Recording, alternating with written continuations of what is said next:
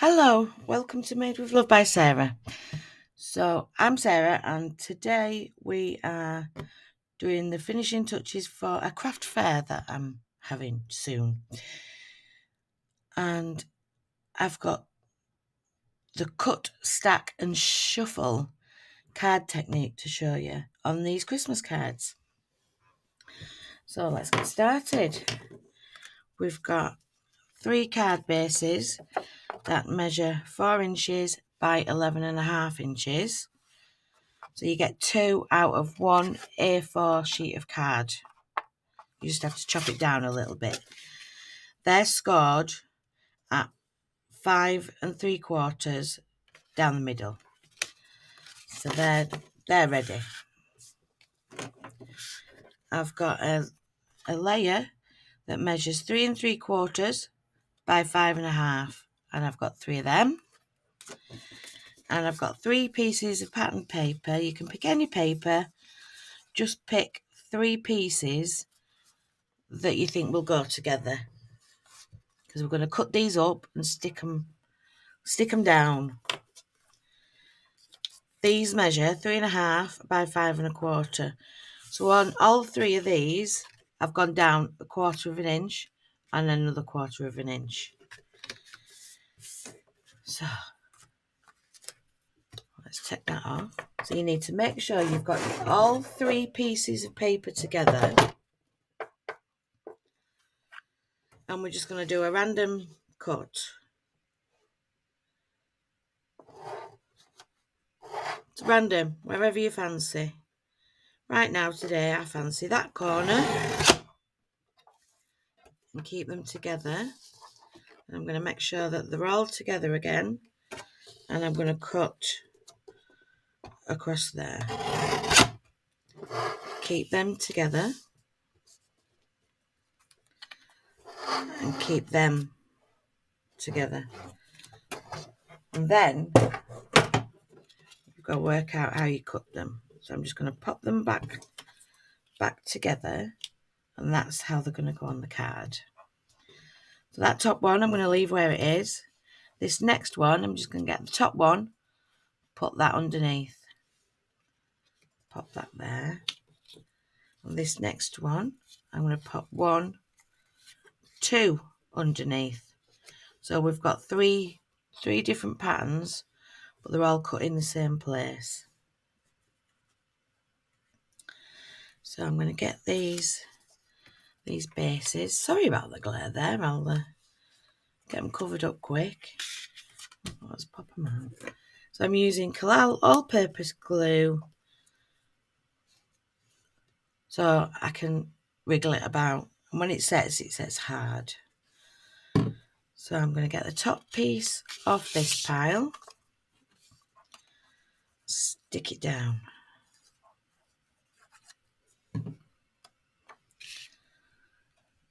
And I'm using this side and this side as a border to make sure I get quarter of an inch border.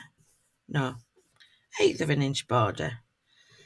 I'll take the top one off the next pile.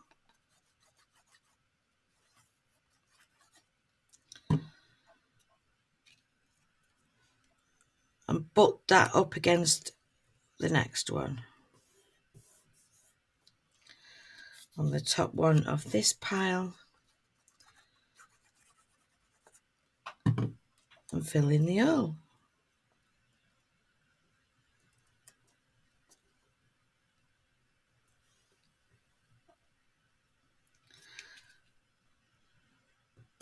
I've got a bit of wriggle room, so I'm just going to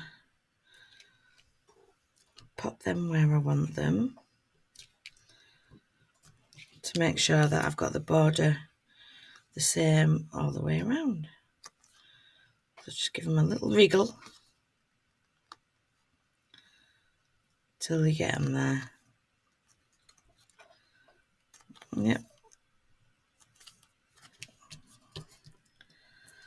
And then I'll just carry on sticking the other pieces down.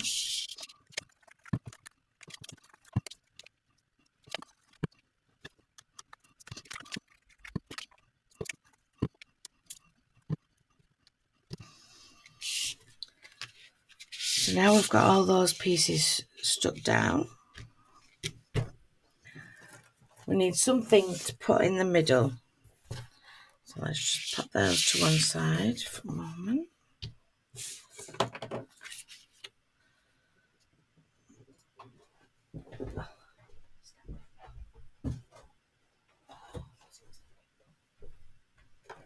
So you need to find your stamping block. Oh, there it is. we're just going to, I'm going to lay out these pieces because we need to stamp them all.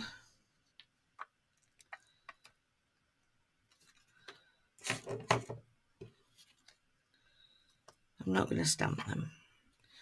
So these these pieces, we're going to make a hot chocolate.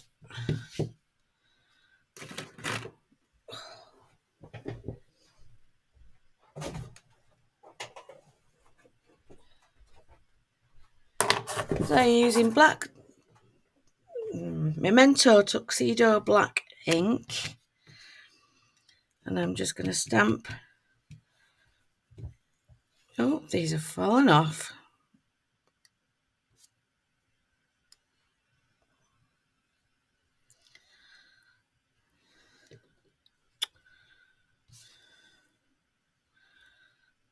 we need to cut. So if you've stamped it's not sticky rub it on your trousers.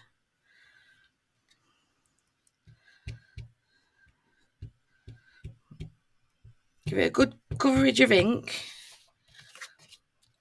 Then just stamp onto your piece of paper. Doesn't matter if it's not perfect because we're going to colour it in. So let's get rid of that ink that'll do and I've got the Tribe blend from Spectrum Noir. And a ice grey classic.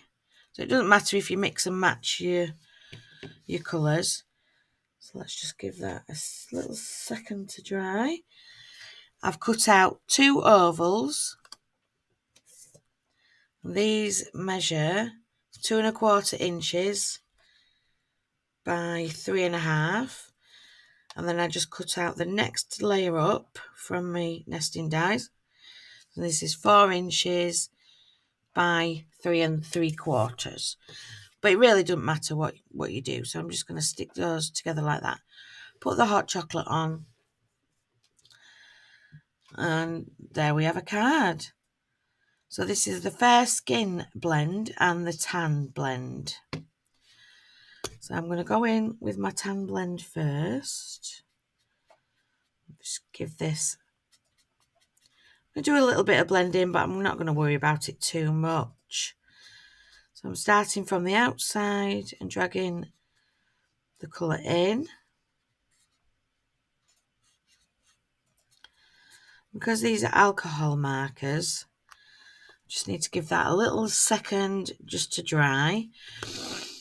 And then I'm going to go around the edges with the mid colour. So I'm just drawing around. Not very good at staining the edges this morning. And I'll pull that colour out a little bit. Using little flicking motions. And I'll go back in with the light colour and drag that colour out. going further towards the middle.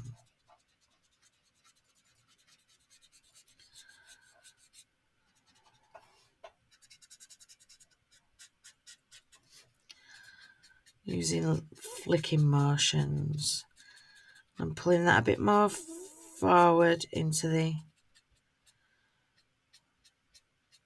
centre. I'm just going to go around the edges with the dark colour. This is the, the darkest colour. Just drawing around the edge. I'm taking inspiration from where the artist who made the stamp has already put the lines. They've done all the hard work. All we need to do is just follow those shading lines. So I'll go back in with my middle colour, dragging out the darkest colour.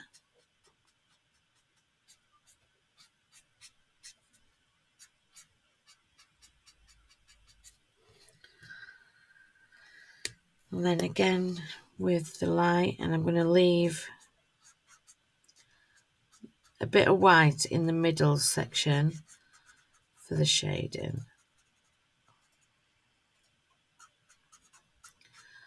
So all the way I'm just dragging the colour across, blending it nicely.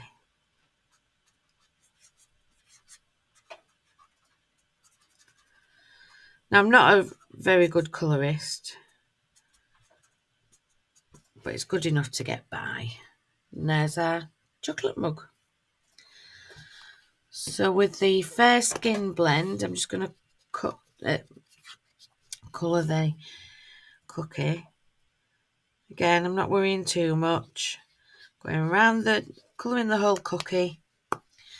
With a middle colour, I'm just going to go around the little chocolate pieces with the darkest colour. I'm use the dark one on this one for the chocolate pieces.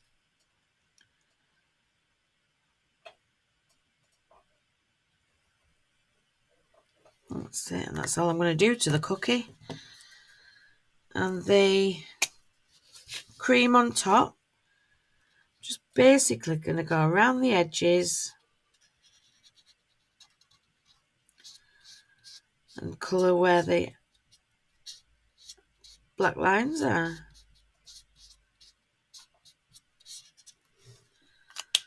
Done. Job done. So let's put those to one. And I'm going to use these dies to cut them out. Using low tack tape. Stick that on the end.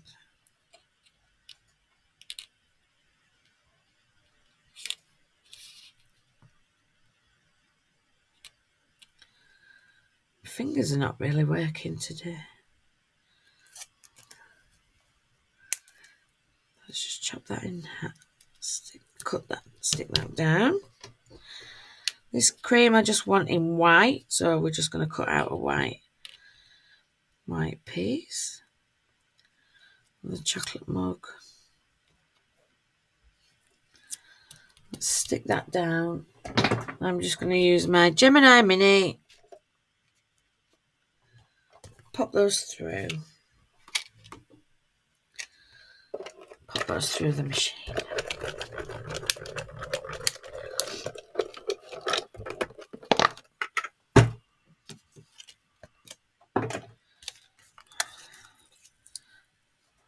So I'm just gently peeling off the tape towards me so as I don't rip the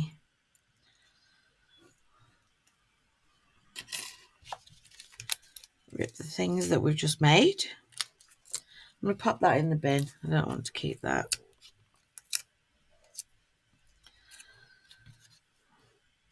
Pop the dice to one side so we don't lose them. And then we just need to make a chocolate cup. So I'm just going to get my grey pen just colour around these outlines. Sorry about that, that was my phone going off.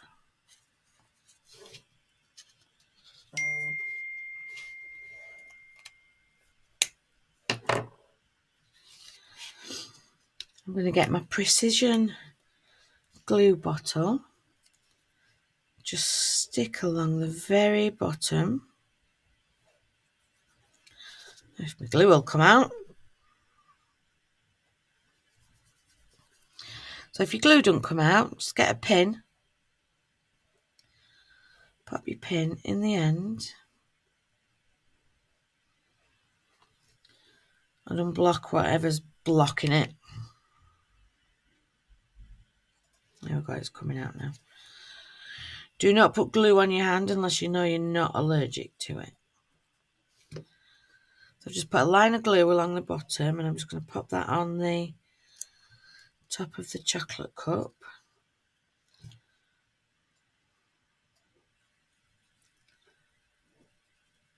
line of glue along the cream that's dripping down and cover that join up.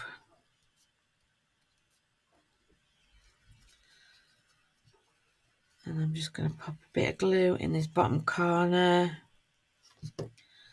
just to stick the cookie on the side. There we have our chocolate cup. I'll put my pin back where I, so I don't lose it for next time I need it. Let's get rid of this mat. And we can just stick these stick these together.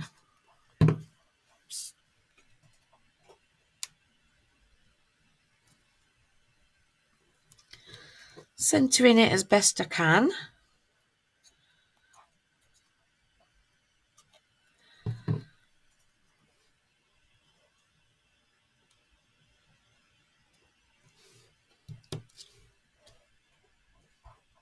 Give that a minute to dry. Now I've already uh, stamped and fussy cut out this Merry Christmas and popped foam pads on the back.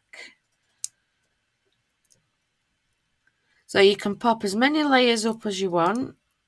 I just chose to pop up the Merry Christmas. Take these backing pieces off. Now that's ready to go. Oh, that's moved. So I'm just going to stick this flat to the card. In the middle. And then I can see where I want my Merry Christmas. On this one, I'm just going to pop it on the bottom so it's coming off to the left-hand side. Stick the whole lot to the card base.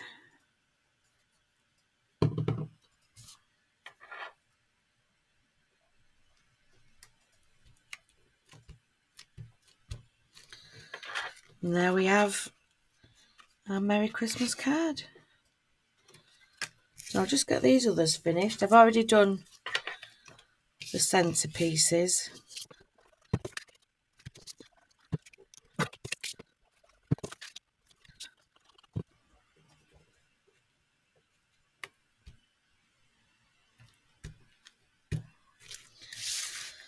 There we have our three, three finished cards. I do have some others to show you uh, that made earlier. So these are done exactly the same, apart from I've chopped the line down. Where did I chop the line? So I cut it at one and a half inches and then two inches from the bottom. Same method, and then I just pop them all together. And there's just more of these that I made practicing. So there's two two ideas for you. These say let it snow, so they're a little bit different. And I pop them on glitter paper, not mirror paper. So give it a go. It's really quick, really easy. And very nice Christmas cards. So let me know which you like best. I don't know which I like best. I think I like this one in particular. Give us a thumbs up if you like what you've seen today. And if you ring the notification bell, then you'll get notified every time I release a video. And I really do appreciate it when you watch my videos. Thank you for joining me today. Have a wonderful Christmas, and I'll see you again soon. Thanks for watching. Bye.